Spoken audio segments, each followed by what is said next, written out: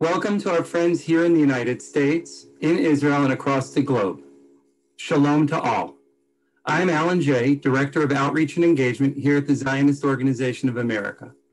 On behalf of ZOA and our partner organizations, Yesha Council, My Israel, the Shiloh Foreign Policy, and Arutz Sheva, I would like to welcome you to this, the third installment of our now four-part mega event series in support of Judea and Samaria. Today's presentation is entitled Paradigm Shift Towards a New Middle East.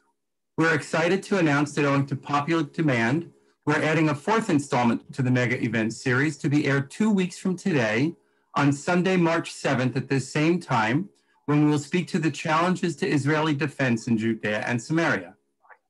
All microphones except for those of our panelists will remain muted for the duration of the program. We have a tight schedule, but we will find time to field some questions at the end of the program. If you have a question for one of our panelists, please post it in either the Zoom Q&A or chat feature found in the middle bottom of your screen. Yishai Fleischer is the international spokesperson for the Jewish community of Hebron, the home of the biblical tomb of the matriarchs and patriarchs, and a political hotspot in the Middle East. Yishai is a prolific writer, podcaster, and television personality, appearing in Newsweek, JNS, the New York Times, Fox, Al Jazeera, CNN, the BBC, and more. Yishai fights for Israel's sovereign rights. He fights BDS. He fights historical appropriation. And he fights to strengthen the Jewish people's presence in Judea and Samaria. Perhaps the most important for us here at ZOA, we're honored and grateful that Yishai has been a friend of ZOA for many years. He always sets time, aside time to meet with us and our ZOA student leaders during our advocacy missions in Israel, providing unique professional and personal firsthand insights into real life in Judea and Samaria. And on that score, we at ZOA are hopeful, pandemic allowing, of running our 2021 mission, leadership mission to Israel, an advocacy trip like no other in August. So Yishai, with Hashem's help, we hope to see you soon. I'll post my email address in the chat for anyone who'd like more information about the trip. With that, I turn the program over to our MC for today. Yishai, thank you for all you are doing in general, for being a friend to ZOA, and for emceeing this important program. Yishai? Alan, thank you so much uh, for that fabulous introduction. And thank you to ZOA for coming to Hebron and to all the places in Judea and Samaria. There's nothing like your, your tours, but especially your student tours are amazing. Now, good evening and shalom from Israel to everybody. Good morning to people in the United States and all over the rest of the world. Welcome to everybody who's joined us today for this third gathering of the Judea and Samaria virtual mega event. This conference is an initiative of the Yesha Council, of ZOA, of My Israel, Israel Sheli, the Shiloh Forum. It's broadcast here on Zoom, on Facebook, and on Arutz Sheva Israel National News. Today, I have the privilege of being with you. As was said, my name is Yishai Fleischer. I'm the spokesman for the Jewish community of Hebron, the city of the forefathers and mothers. Now, last week, uh, together with hundreds of participants, we delved into the legal issues of the rights of the Jewish people in the land of Israel, not only in terms of history, and heritage, uh, but also those the, the definitions of those rights in international law. So we had Minister Omer Yankelevich, Chairman of the Yesha Council, David Elhayani, Director of the ZOA Israel Operations, Danny Luz, ZOA Director General Mark Levinson, uh, MK Michal Cotler-Wunsh, Professor Eugene Kontorovich, and Dr. Emmanuel Navon. So that was a great lineup. Now you can watch the previous two meetings on the Yesha Council YouTube channel uh, and links will appear in the chat and also with all of our partner organizations. And of course, you're invited to share and to teach together uh, and learn and to teach about these important things because so many arguments against us are based on lies. And when we're not informed, we just don't know how to answer them. I'm happy to tell you, as was just mentioned, that in light of the great success of the previous meetings and the huge demand, we're actually adding a fourth meeting that will deal with the strategic and security aspects related to Judea and Samaria and you can register for it on the conference website. But on to today. Today is the third session, and we want to look at the dramatic change that has taken place over the past year. For years, we have been repeatedly told that peace between Israel and the Arab world cannot be established without resolving the issues of Judea and Samaria, the so called settlements, or without establishing a Palestinian state on the Jewish biblical heartland, the ancestral homeland of the Jewish people. However, uh, re- the recent Abraham Accords, which were signed in just one year between Israel and four major Muslim countries, showed that there is another way. Indeed, it is now proven that it is possible to work towards a more cooperative Middle East without obliging Israel to give up its heritage, its security, and its resilience. The Abraham Accords have taught us that a new Middle East can only arrive if Israel is strong, strong in technology, security, economy, and especially in our belief in our rightful heritage to this land. There's also a close connection between the Abraham Accords uh, and the American, the US recognition of the Golan Heights, the relocation of the embassy to Jerusalem, and the very important statement by Secretary of State Mike Pompeo on the legality of the Jewish communities in Judea and Samaria, the so called Pompeo Doctrine. All of these have brought about a realization, at least some circles, of the misguided paradigms that we've been hearing for years. Today, we're going to look at these issues uh, from several aspects, and we will have an amazing lineup for you. we will host here uh, the Speaker of the Knesset, MK Yariv Levin from the Likud, a confidant of Prime Minister Netanyahu and a partner in all the processes that have taken place here in recent years. We will hear from Ambassador Dani Dayan, uh, now a member of the New Hope Party, who will present the diplomatic political angle. Then uh, Najat Al Said, an Emirati researcher and journalist, will share with us a much needed perspective directly from the Arab world. Then uh, Dr. Mordechai Kedar, uh, a world renowned Orientalist on the changes in the Arab world as seen from here. We'll also hear from Asher Fredman, who heads an organization for economic cooperation between Israel and the United Emirates, United Arab Emirates, on economic aspects of this new alliance. And he's been pioneering that. And we will also have a little bit of fun. We will hear from Vered uh, Ben Saadon, the owner of Torah, Tura Winery in the locality of Rechelim in Samaria. Uh, that's next to Ariel. She's already signed an export agreement for oil and wine and other products from Judea and Samaria uh, with a large commercial company shipping them to the United Arab Emirates. That's already underway. So here we go. Uh, that's a lot of stuff. We're going to have a great time. So here we go. I am honored to open today's meeting of the Judea and Samaria virtual mega event with Knesset speaker, Knesset member Yariv Levin. Dear friends, I want to thank you for the opportunity to speak with you today about the important subject of Judah and Samaria. Judah and Samaria is the heartland of the Jewish people, the place where important part of our history took place and an area of great importance for our security. Over the years, we have been attacked from all around the world because of our presence there, but we stood strong. People claimed that our presence in Judah and Samaria was an obstacle to peace. How can the presence of a nation on its father's land be an obstacle to peace? In the past year, we proved that we can have peace without giving up our presence in Judah and Samaria. Actually, it is only when we declared even more powerfully our sovereign rights to the area that peace came our presence in our historical homeland is not an obstacle to peace. It is the key to peace. Only when the world will understand that they cannot remove us from our homeland will they stop attacking us.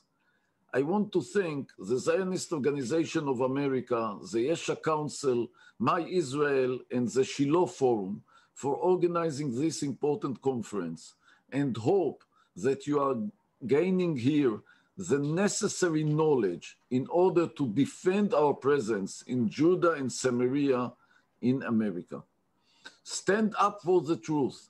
Stand up for justice. Stand up for Israel. Stand up for Judah and Samaria. Okay, thank you to the Speaker of the Knesset, uh, Knesset member Yariv and lawyer uh, Yariv Levin for those important words. Now, this conference, unlike the previous two sessions, will be held in a slightly different manner. This week, instead of panels, which we had previously, we will be holding short TED style lectures. Uh, in addition, at the end, we will devote special time with the lecturers for questions and answers. You are welcome to send questions in already now uh, and during the lectures, and we will try, with no promises, we will try to answer them all. So our first lecture is Dani Dayan. Dani Dayan was the Consul General of Israel in New York City. Dani was also the former chairman of the Yesha Council, the Council of Judea and Samaria, and served as chief foreign envoy for the Yesha Council for many years. He is now running with, uh, for Knesset uh, for office with the New Hope Party, and I'm indeed very happy to invite the one and only Dani Dayan. Shalom, I'm very glad to be here with you. Uh, an extraordinary event organized, uh, among others, by organizations that I cherish, the Air Council, which I headed for almost six years, and the, the ZOA, the Zionist Organization of America, with which I have wonderful relations when I served as Consul General in New York. So let me start. Uh, you know, the archive never forgets and uh, never forgives. So let me start with hearing a few words from former Secretary of State John Kerry. There will be no separate peace between Israel and the Arab world. I want to make that very clear to all of you. I've heard several prominent politicians in Israel sometimes saying, well, the Arab world's in a different place now. We just have to reach out to them and we can work some things with the Arab world and we'll deal with the Palestinians. No, no, no, and no. I can tell you that reaffirmed even in the last week as I have talked to leaders of the Arab community. There will be no advance and separate peace with the Arab world without the Palestinian process and Palestinian peace. Everybody needs to understand that. That is a hard reality. Well, that was uh, John Kerry, the Secretary of State, saying, I think, four or five times, no, no, no, and no. At least uh, it reminded me of the three no's of Khartoum no peace, no recognition, no negotiation with Israel, uh, with the same Khartoum in, in which we'll, we will soon have an Israeli embassy and a, blue and white flag with a Magen David in its center um, on the top of the uh, masthead. So um, it is clear that uh, uh, not only that uh, respect, Secretary of State Kerry was completely wrong. As a matter of fact, uh, as a result of the Abraham Accords with the Emirates, with the, uh, Bahrain, with Sudan, with Morocco, we can say now clearly, I think that uh, we were able to say it even before the Accords, but the, the Abraham Accords made it very clear. The Israeli-Arab conflict is over that conflict, that famous or infamous conflict with which all of us, uh, except for the very young, grew up knowing that is an axiom that Israel and the Arab states are at war, or at least they are in a conflict, that is not true anymore. There is no Israeli Arab conflict anymore. Actually, it was reduced to a conflict between Israel and our immediate neighbors the Palestinians. So if, if you want to uh, uh, uh, even make it more clear, let's take a whirlwind tour of the Arab world. Well, let's start with the Maghreb, with Morocco, uh, normalization, an Israeli embassy, direct flights Tel Aviv, Casablanca soon, um, uh, even in the sub in the Sahara area, uh, non-Arab countries but Muslim countries like Chad and Mali and soon probably also Niger will have uh, uh relations with Israel. Egypt is a full-fledged uh, peace treaty in the Gulf. We know what happens in the Gulf. Uh, and we have with some of them, the Emirates and Bahrain, formal relations. The UAE even already nominated their first ambassador. Our first ambassador is already in Abu Dhabi, uh, uh, Bahrain, and we know that others, um, even if it's still informal, uh, we have flourishing, thriving uh, relations. Then we go to Jordan, a full-fledged peace treaty. So basically, the, the, the only two Arab states with which we still have a conflict are Syria and Lebanon. But you have to uh, uh, understand the conflict with the conflict with Syria and Lebanon, which is a dangerous one, I'm not uh, underestimating its importance. The conflict with Syria and Lebanon is not with the Arab states, Syria and Lebanon, is with the Iranian presence in Syria and Lebanon.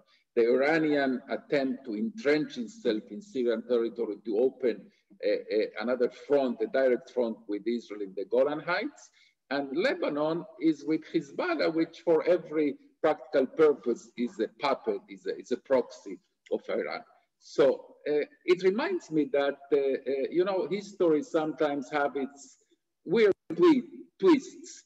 Uh, uh, the, the, the, Israeli uh, security doctrine um, that was devised by our first prime minister, David Ben-Gurion, basically said back in the 50s, in the early 50s, that since Israel has a conflict with the Arab world, with the Arab states, we have to forge alliances with the non-Arab players in the Middle East. Who are the non-Arab players in the Middle East?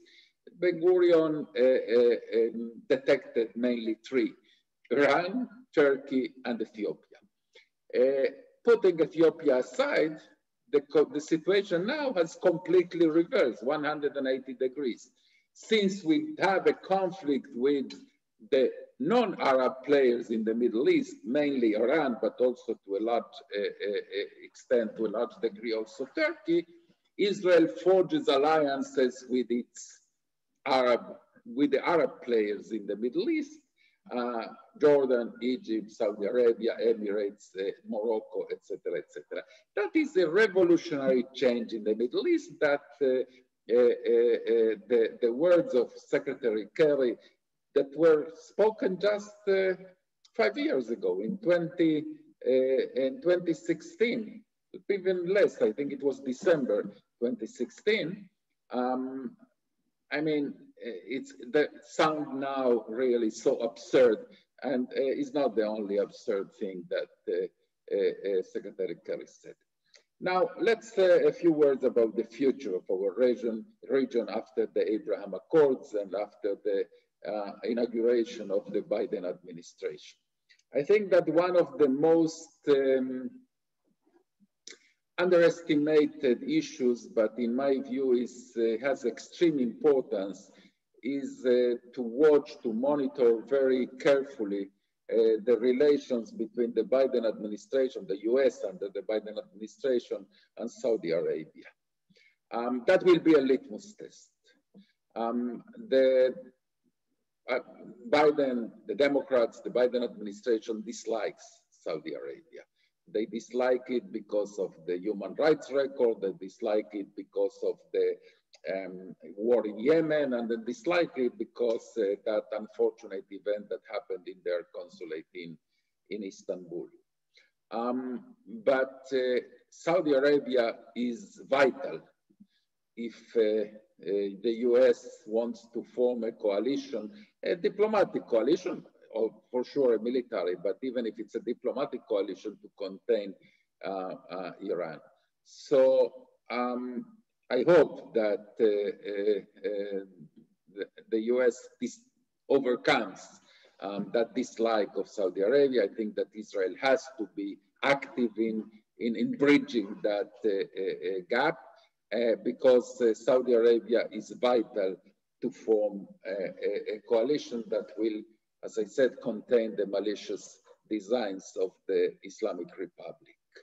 Um, regarding uh, the so-called peace process, I would like to say this observation. Um, consecutive American administrations, uh, excluding the, the last one, uh, had this uh, um, I would say this strategy or tactic or, or, or uh, um, they would, a new president was inaugurated, a new secretary of state installed, and then they will take us on one hand, the Palestinians on the other hand, immediately, months, weeks after the inauguration, they will run with us and jump together with us with us into the swimming pool of the peace process. There was only one problem. They never checked if there is any water in that swimming pool. And usually the end result was that all three of us, Israel, Palestinians, and the American administration, the American president, cracked our skulls. Um, I hope that uh, uh, the Biden administration uh, continues uh, with this, uh, adopts the same um, um, tactic that the Trump administration did, not rush, talk to everyone, understand the situation. President Biden must understand that the Middle East of 2021 is completely different to the Middle East that he knew during his days as uh, chairman of the Foreign uh, Relations Committee in the Senate, and even of, uh, as, as, as the vice president of Barack Obama. We have now uh, an ailing, uh, useless uh, uh, Palestinian um, leadership. We have the Abraham Accords. we have an Israeli, in Israel that is uh, really thriving in, in, economy and military might. Um, and uh, uh, the situation is completely different. And I hope, really, I, I sincerely hope that the, President Biden, Senate, Secretary Blinken understand that we are in a completely different game and the tactics of the past of courting the Palestinians and pressuring Israel are exactly what is not needed these days. What is needed these days is to continue uh, uh, the momentum of the Abraham Accords uh, in order to bring uh, stability and eventually also peace uh, to the Middle East. I uh, will conclude saying that in that sense, we are very far. we made a long road, a long way since the days in which uh, I used to come uh, uh, to Washington, assisted by the ZOA as representative of the Yesha Council, to meet um, senators and members of Congress and other officials. we are in a very different place. Uh, Israel is a different place, the Middle East is in a different place, Judea and Samaria are in a different place.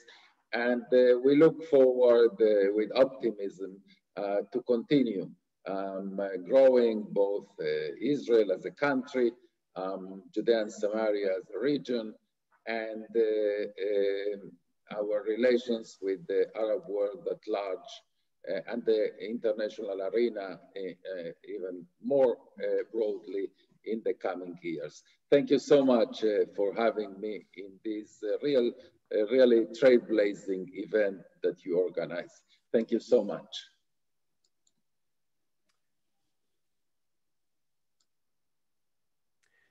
Okay, thank you very much, Ambassador Dani Dayan. That was very interesting and a good uh, a good overview on what's going on in the Middle East in general and Israel's position in it. And uh, as was noted, Israel's position certainly changed. And beginning with last summer uh, and this year was characterized by a burst of warmth between the citizens uh, of Israel and the United Arab Emirates. It was so fast, hopeful, and surprising we have with us somebody from from the other side, not just from our perspective, but Dr. Najat Al Said from the UAE is an academic researcher, columnist at Al Ittihad newspaper, Al Hurra news channel, and now also in Israel Hayom newspaper. Her lecture topic is going to keep me right at the edge of my seat, which is establishing a media alliance between the Abraham Accords countries to combat media polarization and distortion. So take it away, Dr. Najat, and thank you so much for joining us. Good evening, everybody. Today, my topic is, is going to be about establishing media alliance between the Abraham Accord countries to combat media polarization. So before I talk about media alliance, let us talk about the core problem of the polarization. What is the problem? We can see the, the main problem is basically driven out of the global mainstream media dominated by the, the ones in the United States and United Kingdom, which is full of disinformation, bias, and polarization. We can see also both Israel and Arab uh, Gulf countries, mainly as UAE and Bahrain, are faced with a great deal of attacks and disinformation but each part has different kind of attacks. For example, in the Arab Gulf countries like UAE and Bahrain, they are faced with attacks that is over exaggeration of human rights without taking into consideration the other, other main problems, like for example, the, those who take advantage of human rights as political Islamists for their own political agenda. And they're using the human rights that are, that are supported by Western countries to, to, to, to pressure these countries at the same time to fulfill their own power. This type of, uh, of usage and exploitation by the, those political Islamists are not quietly understood by the Western media, the, which is the liberal media, and, and that what is causing the, the kind of bias and disinformation. The attack on, on Israel, on the other hand, is quite different. The, the focus is basically showing one type of attack and not showing the, uh, the other. For example, showing the attack of the Israelis on the on uh, parties like for like Hamas, for example, without showing that Hamas has hit uh, the the, uh, the civilians in Israel. Here, the image is is basically showing Israel as the attacker and the aggressor. So in this terms, both Arab Gulf countries and, uh, and Israel are facing this kind of distortion of image among the public by the traditional media. So what, what, what should be done in terms of this kind of, uh, of bias and uh, disinformation? For instance, the foreign policy of the Obama administration was very different from the, the Trump administration. The Trump administration was opposed to, to the Iranian nuclear deal agreed by the Obama administration and opposes the Iranian interference in the Arab countries. The Trump uh, administration was uh, also opposed to the Muslim Brotherhood and has, uh, and has considered it and designated as a terrorist organ organization. While the, the Obama administration was supporting the Muslim Brotherhood, especially in what is called the Arab Spring. Now, the Biden administration is basically another kind of version of the Obama administration and trying to do almost the same thing, uh, uh, uh, the same thing, and to trying to undo all what has been done in the Trump administration. So here comes the confusion, and here comes the inconsistency between one administration and the other uh, administration, between the Democrat and the Republican. And all of that is on the expense of the region. So instead of continuing what has been done by the Trump administration, and we see more peace deals, we went back to box number one, which is going back to the Iranian nuclear deal and also going back to the same type of strategy to solve the Palestinian Israeli uh, conflict, which is basically taking the agreement of the Palestinian Authority, which basically going to the unsolved mystery. So we see all of those political differences are reflected in the media.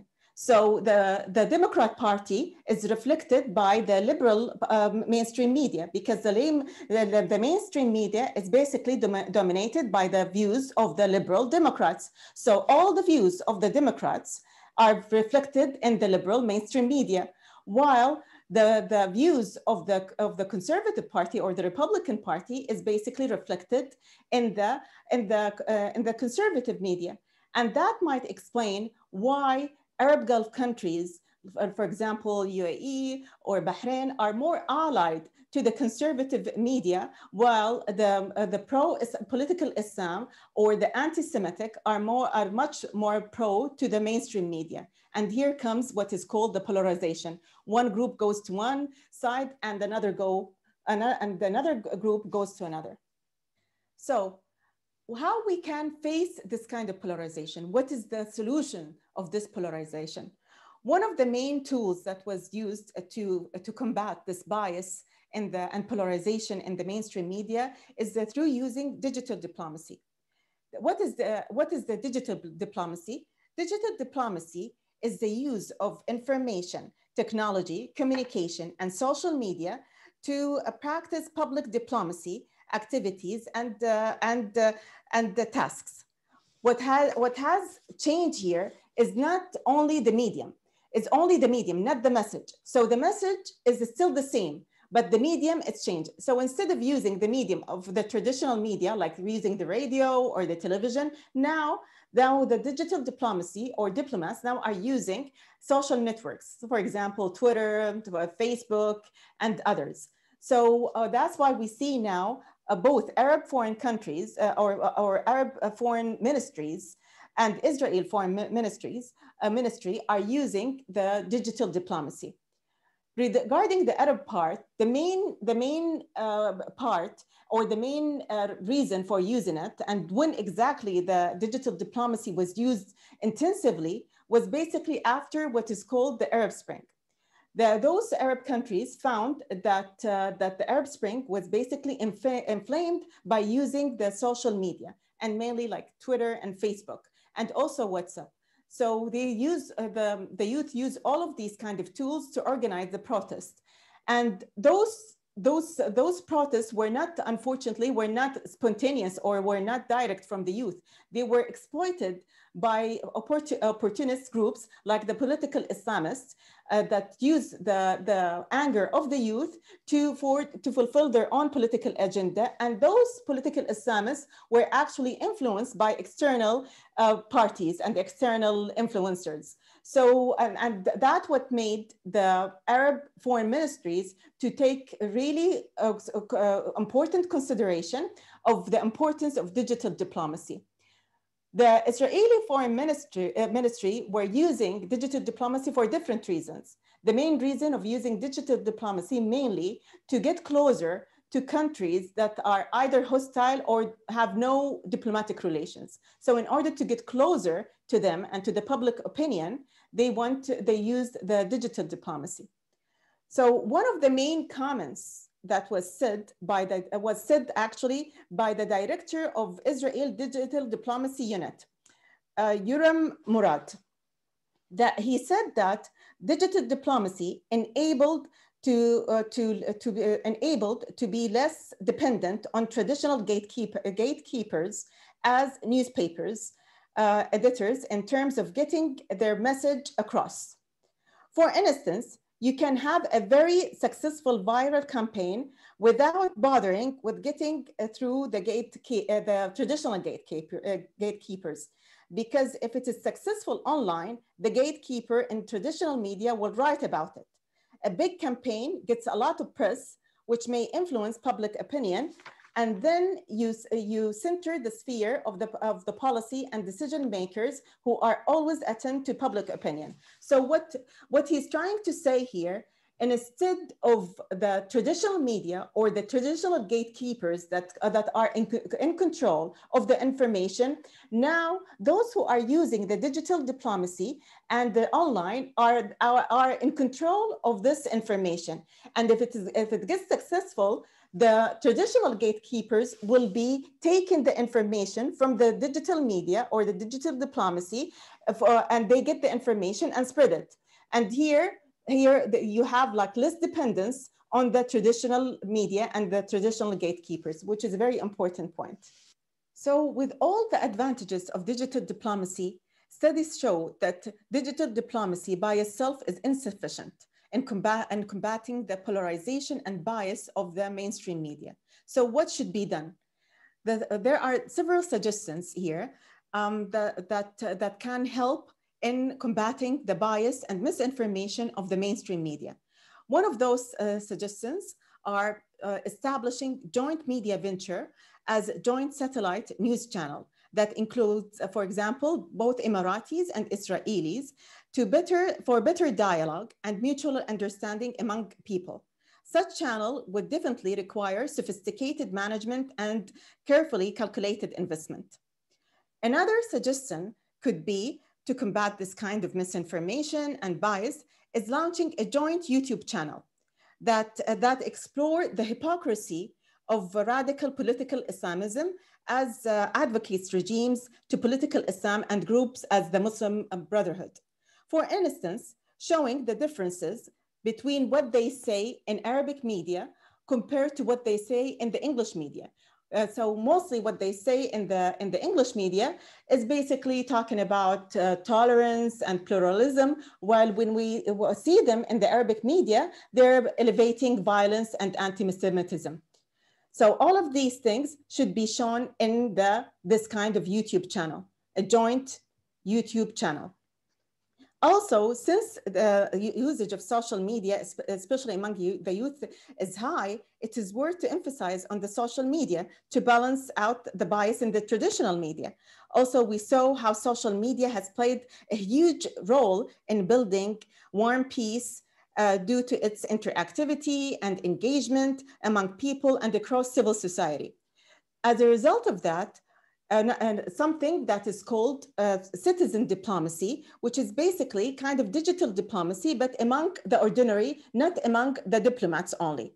So at this stage, it is important not only to qualify diplomats for communication diplomacy, or, the, or communication uh, technology, but also national profession, professionals, uh, the, the national professionals, the skills of these active users that are using cer certain social networks as those active users on Twitter or Facebook or any kind of social network that is so uh, active and popular among the youth, we can train them and uh, and use the, the activity of those younger uh, younger professionals and use their skills to uh, to basically influence the, the region and the inter and the international public opinion through uh, through meaningful engagement. This is another kind of usage of the of effective usage of the social media.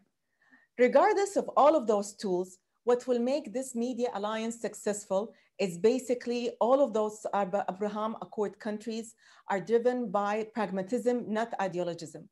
They are driven by prosperity and development for their, for their people, not by ideology. And that will make this Abraham Accord successful and will make, uh, and will make this media alliance successful. Okay, thank you very much, Dr. Najat. Just a year ago, uh, really not so long ago, was considered a dream to see a person like you participate in such an event uh, that we have lived and came to this time. We say Shechian v'kimano lazman azeh. Dr. Najat will stay with us for questions at the end of the session. And I just want to add one more point, which is I personally have felt uh, what she talked about digital diplomacy just on Twitter, connecting to so many Emiratis, uh, Omanis, Bahrainis, uh, just talking with them and actually took a page out of Asher Fredman, who we're going to hear from later, just to see the pictures, share the life on this on the social media, really break down borders through it. So the Abraham Accords was was really happening on Twitter uh, as well. Uh, I'm very honored to uh, to bring Dr. Mordechai Kedar uh, to the uh, to our forum today. He's of course a very well-known expert on Islam and the Arab world. Uh, Dr. Mordechai Kedar is a research associate at the BESA Center for Strategic Studies at Bar Ilan, and he served for 25 years as the lieutenant colonel uh, in the Israeli military intelligence. He still serves in reserves in Northern and Central Command. He's done hundreds of interviews in the Arab media where he presents the state of Israel and defends it from prejudice and hatred. He does it in beautiful Arabic. You know, he just makes them sit up and listen, and, and he's amazing like that. Uh, he's also one of my personal mentors, and I am very proud to invite Dr. Kedar to talk about changes in the Arab world in recent years. Dr. Mordechai Kedar.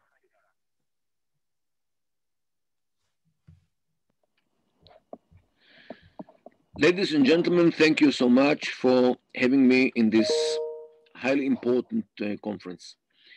I would like to speak about the failure of the Palestinian narrative, which enabled the Abraham Accord to go forward. Um, and this, the failure of the Palestinian narrative has several reasons.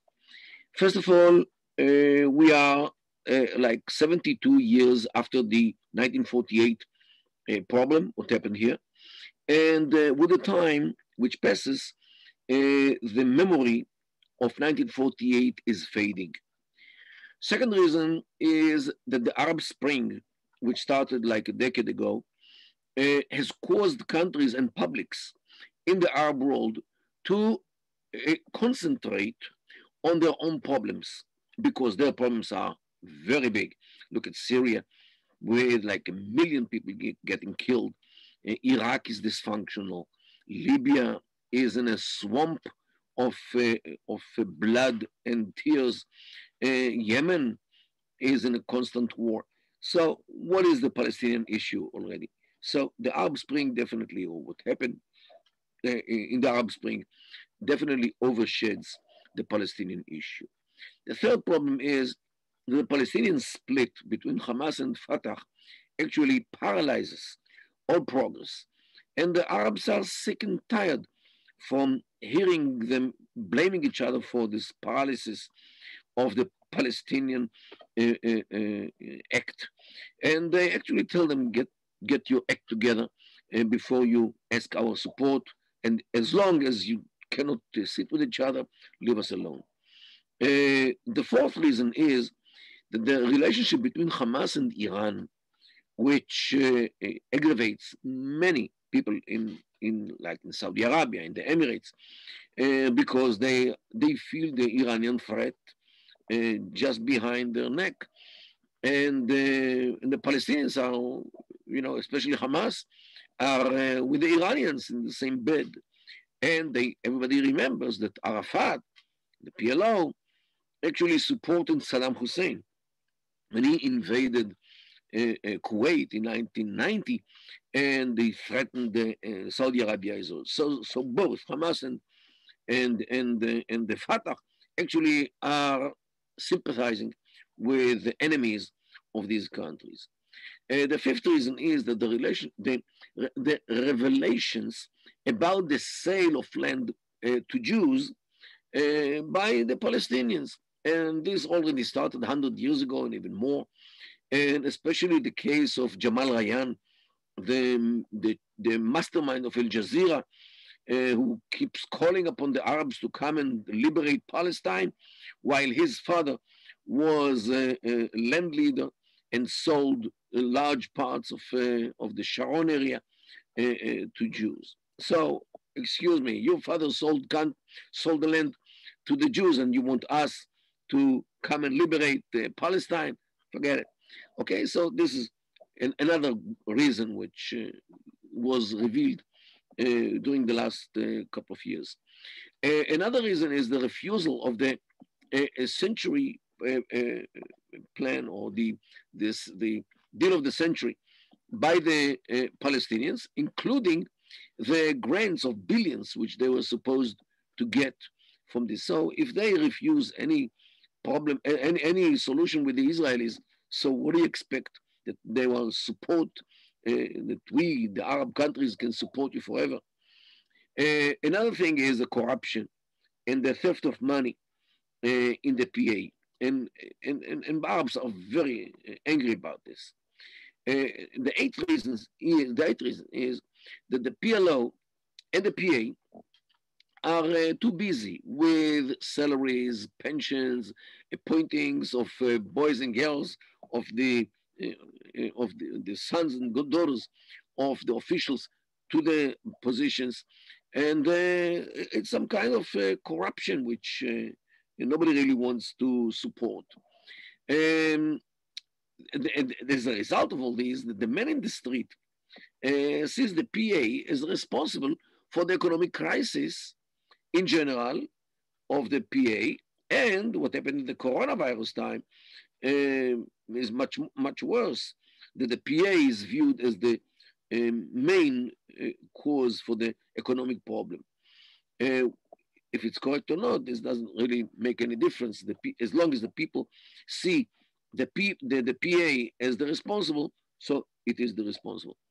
Um, the majority of the public today thinks that it is better for them to stay connected to Israel, you know, even within the Palestinians, than uh, to establish a state uh, which can become another Hamastan, uh, as happened in January in 2006 when Hamas won the majority of the seats of the Legislative Council. Uh, uh, or everybody remembers what happened in Gaza in June 2007 when Hamas took over. So it can happen again in, in, uh, in the West Bank or Judea and Samaria. So why establish a state which might become another Hamastan? Um, another reason which uh, for Westerners it's hard to, to understand, the PA and Hamas are focusing constantly on the Al-Aqsa problem, which is a, religious issue, uh, which became the central issue for the whole Islamic world on the expense of Mecca and Medina. Uh, this is the, the central uh, uh, cities of, of Islam. Recently, the Saudis are starting to talk about the fact that the Al-Aqsa Mosque, which appears in the Quran, was actually near Mecca, not in Jerusalem. So they are actually pulling the rag under the feet of the Palestinian religious argument. And this is very significant when it comes to Islamic societies. Uh, and on the other hand, Israel is portrayed as a story of success, unlike the Palestinian issue, uh, in all the areas. And the Palestinian story actually interferes with connecting with Israel. And this is when they now have to, to take a side between Israel and the Palestinian issue. Definitely, uh, it is easier for them to, to stand with Israel or to side with Israel when the Palestinian issue became such a burden on them. Thank you so much.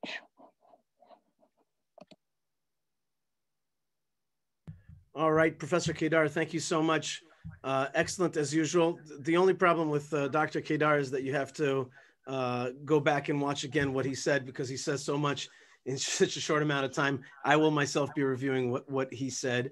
Um, and so also with, uh, with uh, Dr. Najat as well. Fascinating stuff. Now, the Abraham, that, that's all serious stuff. But uh, there's, there's a real fun side to the Abraham Accords, which opened up an economic opportunity that has been closed up until now. So Asher Fredman is a fellow at the Kohelet Policy Forum. He holds a BA and MA from Harvard University in Government and Middle East Studies. And before he came to Kohelet, he served as chief of staff um, and international affairs advisor at Israel's Ministry of Strategic Affairs and Public Security. Now he's the founding member of the UAE Israel Business Council and is the CEO of Gulf Israel Green Ventures. Uh, I can tell you that he, he did a great job and he's going to show you some wonderful pictures uh, from his escapades uh, in the UAE. But my favorite, and I hope he shows it, was when Asher was driving down a big, beautiful highway in a convertible, like some kind of Miami Vice guy, uh, down down in in the UAE in Dubai, and it just he made it look so amazing and so open, and he did it all with a big kippah on his head. Asher Fredman, thanks so much for joining us. Go ahead. Thank you, and I'm glad that I get to be the fun part. Um, I think the other lectures were quite fun as well, but thank you, Yishai. Thank you to the ZOE, to the ZOA, to the Yesha Council, to My Israel, to the Shiloh Policy Forum, of course. Thank you for organizing this amazing event and for having me speak. And as Yishai mentioned, in addition to being a fellow at the Kohelet Policy Forum, I founded the Israel Emirati Forum, which is the largest active community of Israelis, Emiratis, and Bahrainis. I'm a founding member of the UAE Israel Business Council, which is the largest business council bridging between the two countries. And I'm the founder as well of Gulf Israel Green Ventures, which works to bring together Emirati and Israeli green technologies, entrepreneurs, and businesses. So I want to begin with a story. Dubai, October 2020. I walk into a business center, and all of a sudden, a very distinguished looking uh, Emirati gentleman approaches me and he says, Welcome, so nice to see you. I was a little taken aback. I don't know him. He said, Thank you, thank you. But I didn't, wasn't quite sure what was going on. And he walked away. After a minute, I realized that it was because I was wearing a kippah on my head, and he was excited. He assumed that kippah means Israeli. he was very excited to welcome an Israeli to the UAE.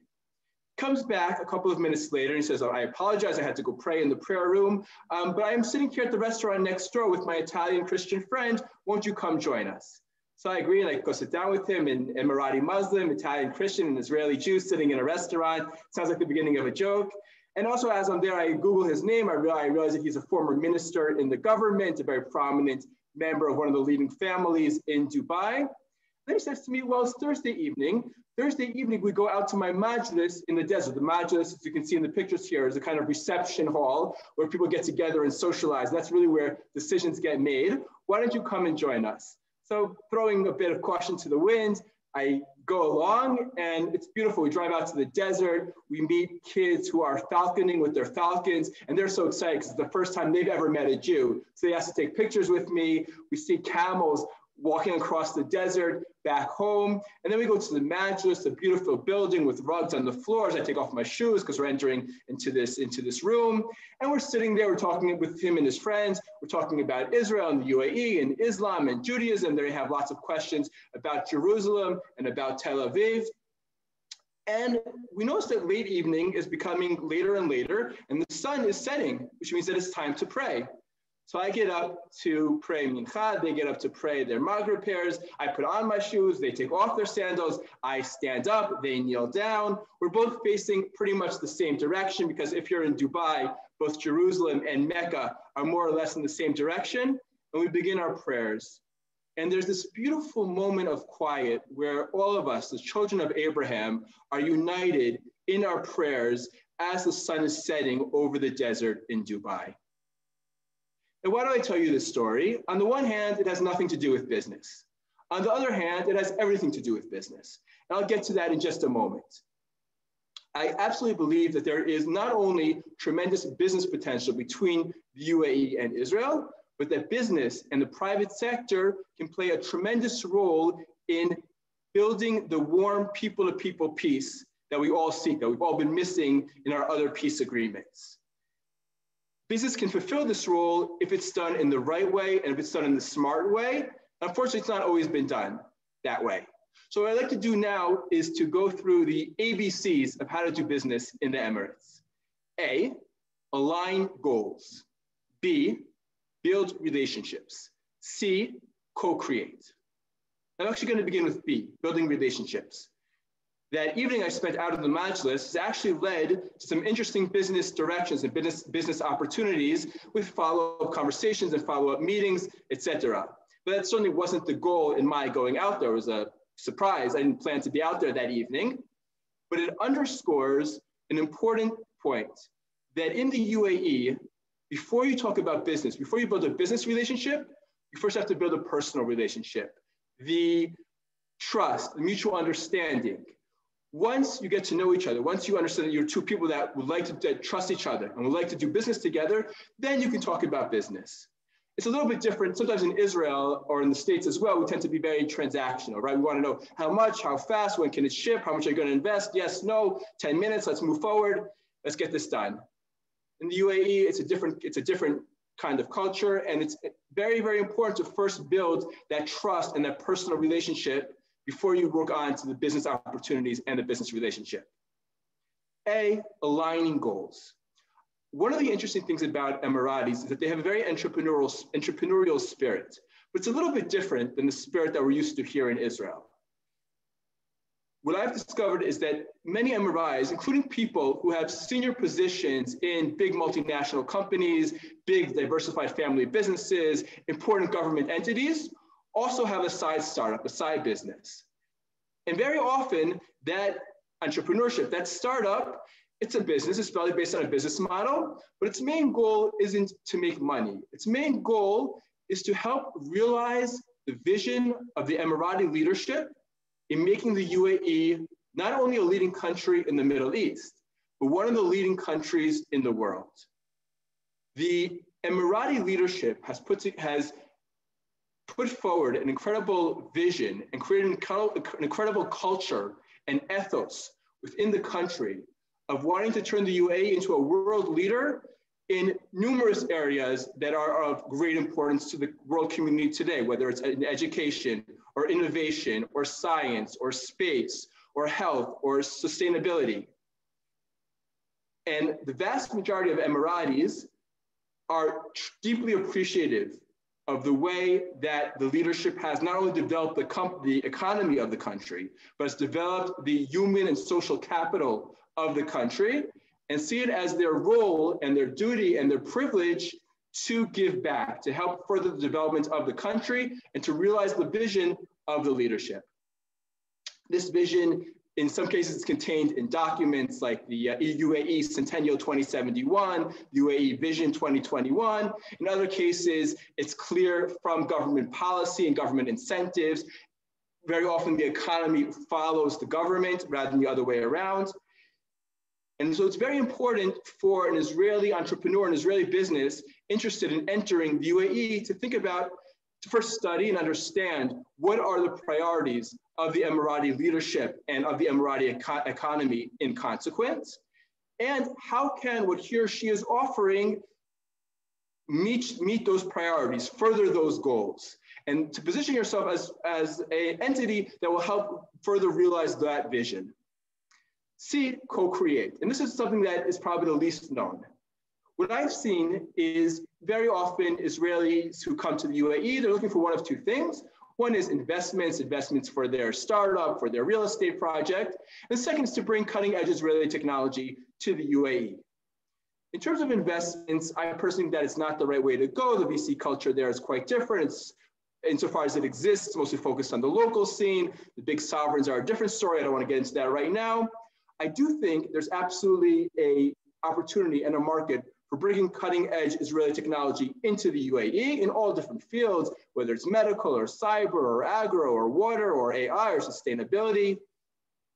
But what the Emiratis are really looking for is not only to be, or no longer to be, consumers of the world's best technology, but to be producers of the world's best technology.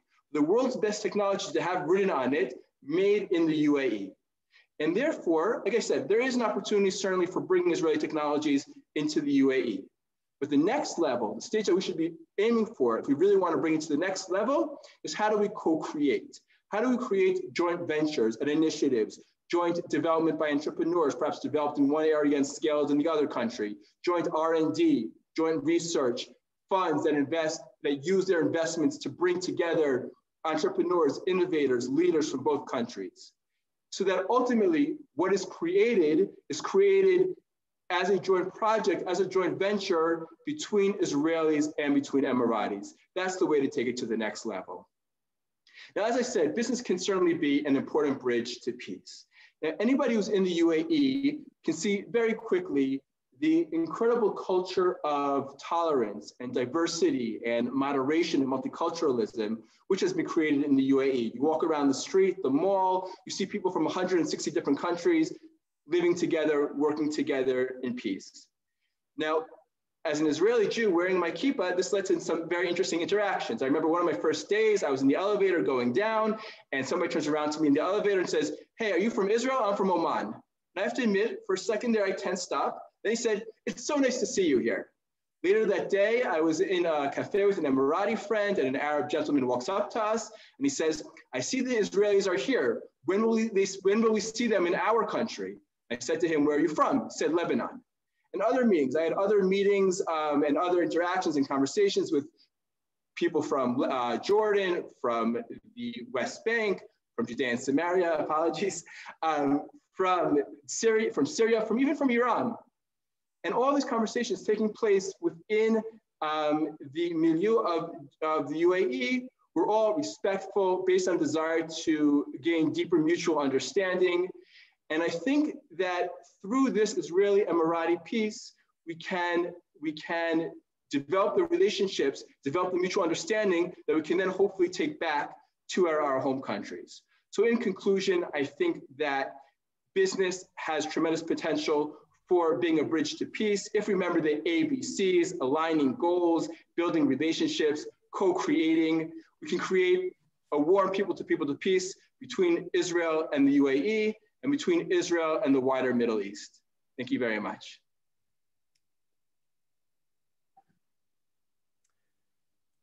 Okay, fabulous uh, talk, Asher. Thank you very much. And Asher is going to stay with us for questions and answers later. Uh, I just want to comment that uh, the Abraham Accords is famous for being between Israel and, and Morocco and the UAE and Bahrain, Oman. Those, those are great achievements. We're trying to do the same thing in Judea and Samaria, especially in a town like Hebron. We've got a dream that we would have a joint hotel, a hotel that would be an Arab Jewish hotel, an Ibrahimi hotel, or Father Abraham Hotel or the uh, uh, Ohel Avraham, the tent of Abraham. That will be a, a, kind of shared hotel built by joint money and bring all the tourists that people want to come and, and really connect to the founder of the Abraham Accords, Abraham, right? The original, uh, the original person who, who who brought us all together, the children of Abraham. So we're looking forward to those opportunities developing the Abraham Accords, even in Judea and Samaria. And speaking of Judea and Samaria, uh, the dramatic changes that we've been hearing about uh, also brought along with it fascinating stories. One of them is by Vered Ben Saadon. She's the owner of Tura Winery in the town of Rechelim in Samaria. Vered and her and her husband Erez were amongst the first wine growers uh, that went to those mountains and, and, and planted in Samaria. They planted and grew dozens of dunams of vineyards in Har Bracha in Samaria.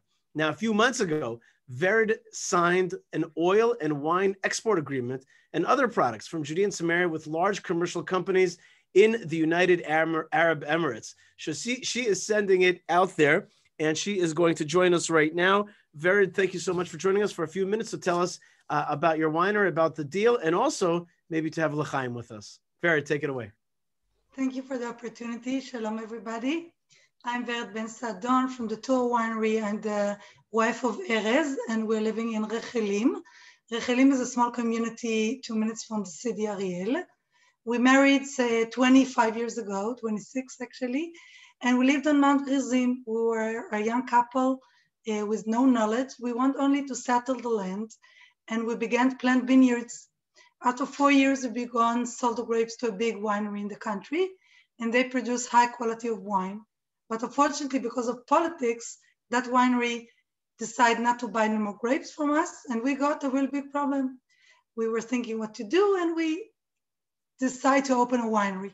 And in 03, we opened a Tura winery here in Rechelim with 1,200 bottles only. Today, we're producing 100,000 bottles a year. 40% we're export to the States, Canada, Europe, and like uh, you said, also a few, like two months ago, also I have been in Dubai in the Emirates, and it was a big opportunity.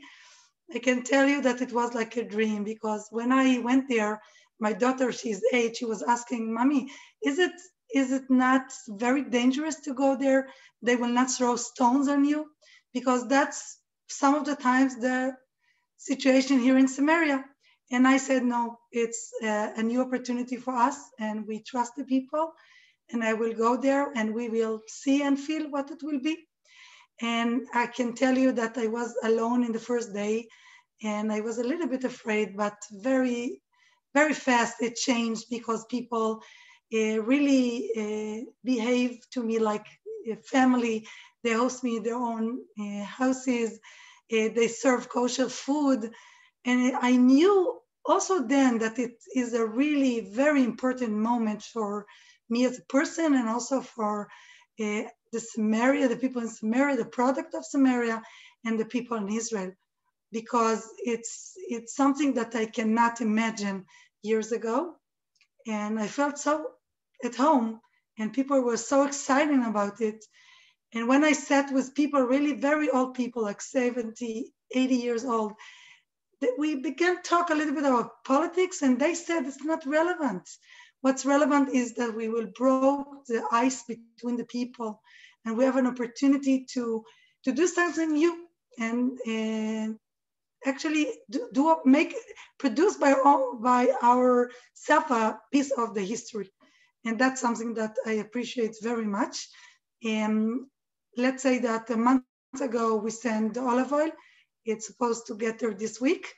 Uh, the one we already sent, and there was already a very big wedding with our, the two wines uh, in Dubai. And we know that, like Asher said, it's very important to build the relations before uh, the business. And we, we are in contact really uh, every week. And I'm supposed to be there again. But now with the lockdown in Israel, it's really not so easy. But I hope in March I can go there again and to uh, continue the business and the good relationship between us and the people there. Thank you.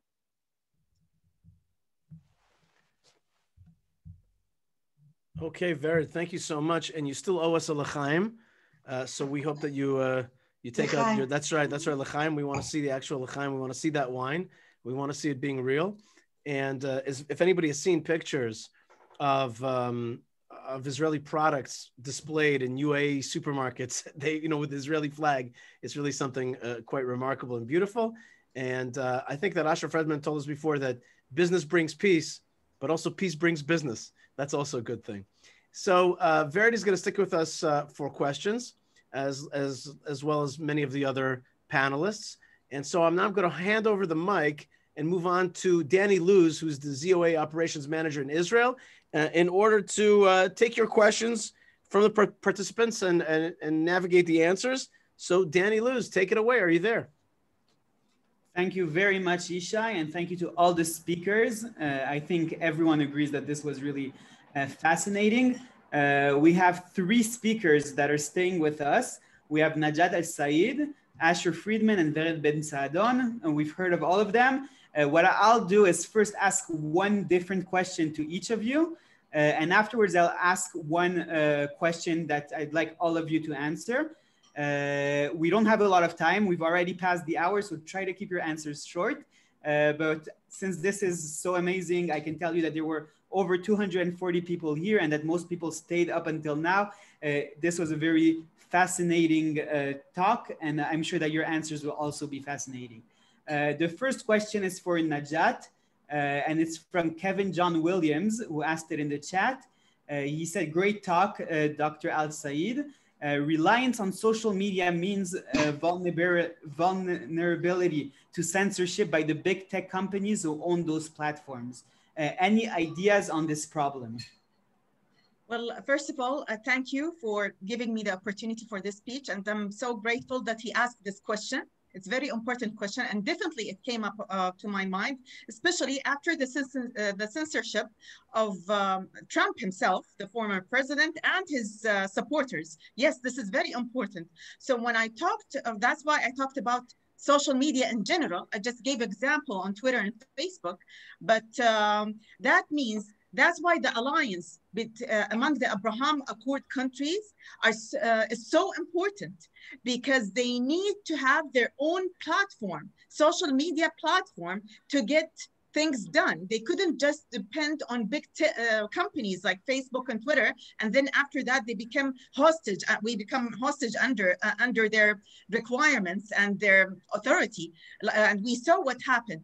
But uh, and and that's why we uh, you know together we can make it. Like look, we saw what happened to Parler. You know, if you work by yourself, you're going to be attacked.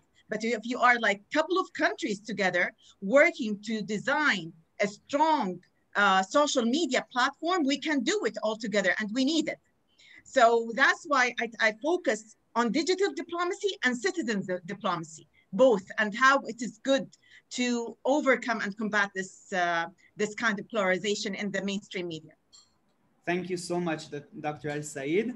Uh, the next question is for Asher. I'll tell both Asher and Vered that there's a lot of people on the chat that want to know about your organizations and your winery. So afterwards, I, I suggest that you share links about your organizations and wineries uh, in the chat for everyone uh, to get it. Uh, maybe you can say uh, the name of your organization and your wineries again when you answer the question. But the specific question is a more personal question for you. Uh, what brought you to deal with UAE-Israel relations? Is it more of the business opportunity or ideology, seeing that there's peace coming right now and you wanted to take part in that? No, I, in the years, I spent nine years in the Israeli government, in the prime minister's office and in the Ministry of Strategic Affairs. And we talked frequently in our meetings, especially when I was working with Minister Erdan, now Ambassador Erdan, about the need to this top down political process that John Kerry way was just wrong. And it was never going to work. And what we really need to do was build a people to people peace.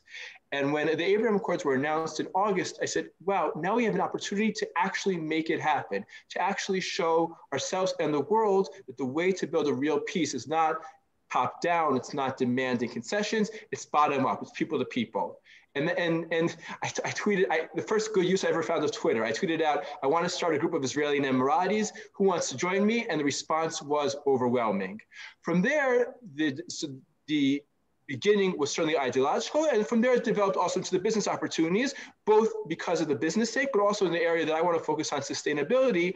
I believe that the narrative, the idea of Israelis and Emiratis working together for the future of our countries, of our region, of the planet, is a wonderful story on a super important topic. And so it really combines the ideology and the business aspects. And I'll just say the two organizations that I mentioned, one is Gulf Israel Green Ventures, and one is the UAE Israel Business Council. And I'll put links to both in the chat. Thank you. Great. Thanks a lot, Asher.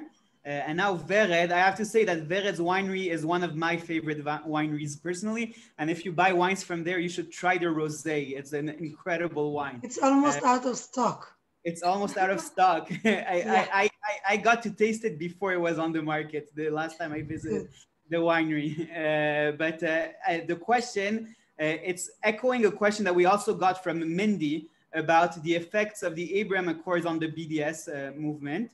Uh, and as, as a business that faced boycotts and that faced the BDS movement uh, before, do you feel that the Abraham Accords uh, bring you a, a, new situation where you can uh, more easily fight the calls for boycott? Look, the BDS is a movement that um, is exists, but it's more noisy than it really works, if you understand what I'm saying. Um, the BDS is, from my opinion, by Davka or demonstratively Samaria. By Davka Shomron, by demonstratively Shomron, uh, or Besiata Dishmaya. So that's how I look about it.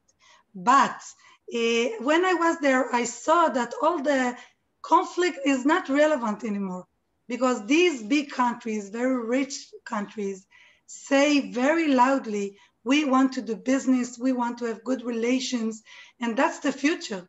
About all the other, you know, stories, okay, but that's not relevant anymore. And uh, I, like I said, I was, I felt really at home they were so curious. They were so happy to meet the Israeli women, uh, Jewish women. Eh, I was curious as well. I want to speak with these women actually more, but there were not so many women outside, more men's. In the businesses, I saw only men's. Um, maybe next time, uh, because that's part of have relationship to build it. Maybe the next time I can meet them as well. But I was really curious to meet the people, to speak, to see eyes to eyes, people to people.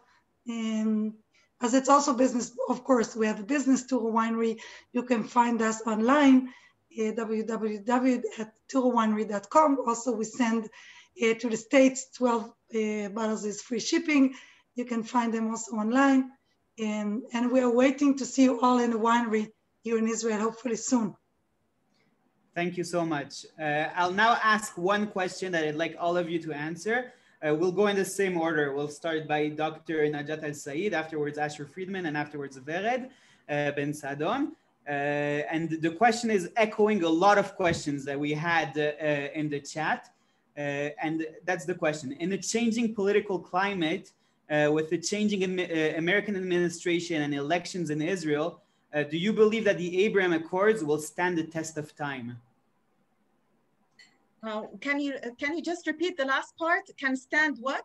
The test of time. In other words, that in the long term uh, they will survive, and that the political dynamics won't stop the developments that we've seen. Okay. Um, well, uh, my answer to this question is yes. I'm very optimistic that it will it will stand.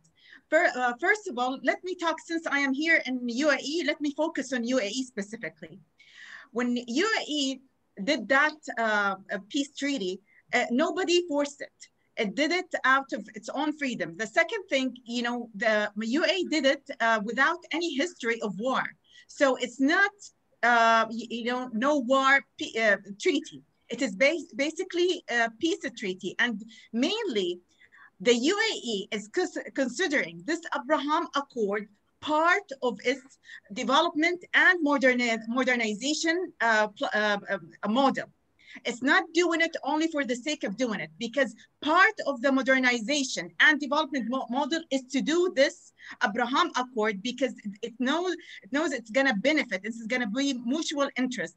Israel is a very developed country in many fields, in, in medicine, in high tech, And, uh, and UAE uh, is trying to build or actually building strong alliance with most of the all developed countries. And Israel is not far from that. It's one of the, those developed countries. So it's basically going to be mutual interest. The second thing, in my opinion, this is my opinion, the, you know, I don't believe in a peace uh, uh, should be coming after the two-state solution, what they call or any kind of uh, uh, or any kind of solution.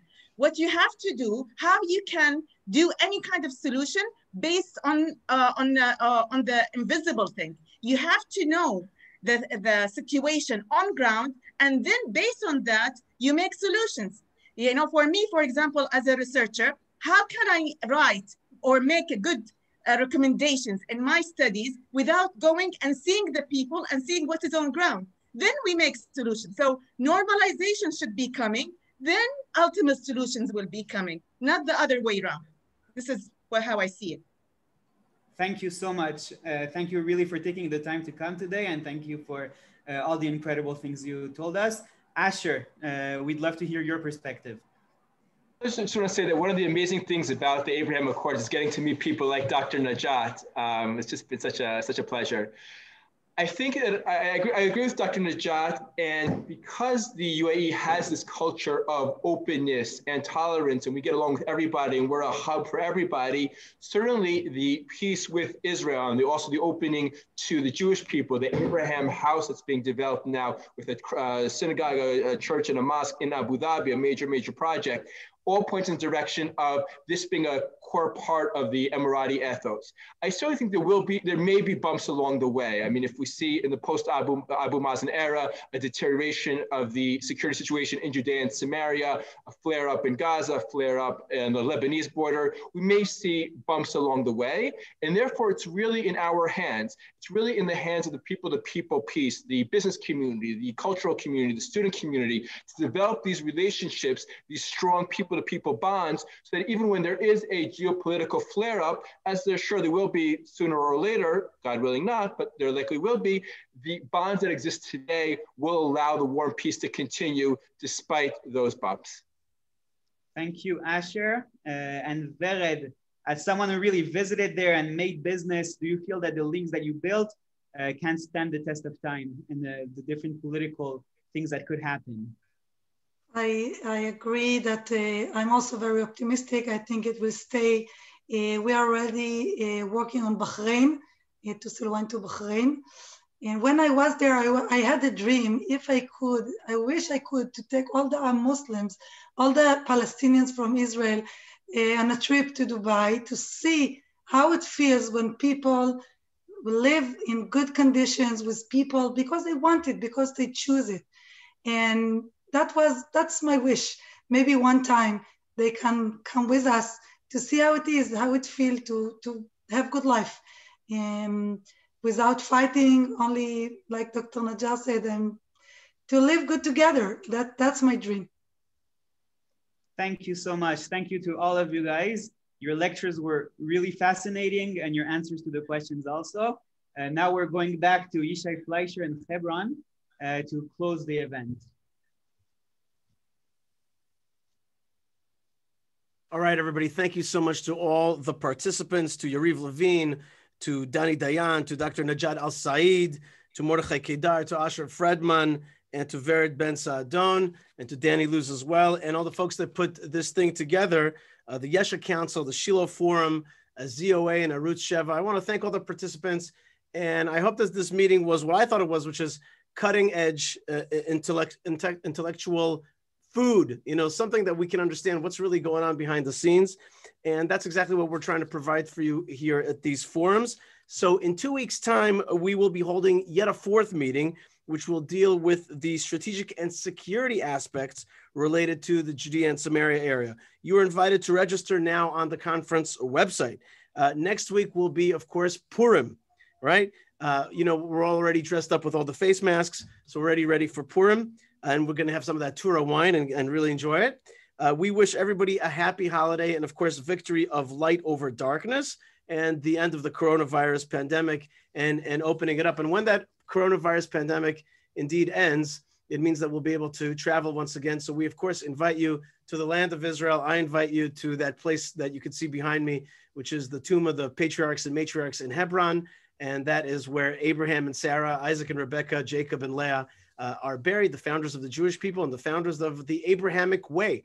And I hope that when we start flying again, we're, we're not only going to have uh, an Abraham Accord, but we'll have an Abrahamic alliance. You know, like you have the Star Alliance, but we'll have an alliance with, uh, you know, uh, uh, with Etihad and Emirates and, and Kurdish Air and Egypt Air and El Al, and you'll be able to get points because it'll be part of some kind of Abrahamic alliance. And from business to something uh, even greater, which is an alliance of, of interests, of security, of prosperity, of tourism, of seeing these amazing sites and co- connecting to this amazing region. And we certainly hope that the Abraham Accords that you heard about so much today will also trickle down to uh, a very local area here in Israel, in the so-called West Bank, in Judea and Samaria, in the heartland of the Jewish people, where there are so many Arabs that are living here. We also hope to see much more of that cooperation, uh, th- that appreciation, that that spirit uh, of connectivity under the banner of Abraham uh, happen in our in our in our land in our time. So I want to thank you very much again. I want to thank all the good people that have been watching. And blessings to you from me, Shai Fleischer from Hebron,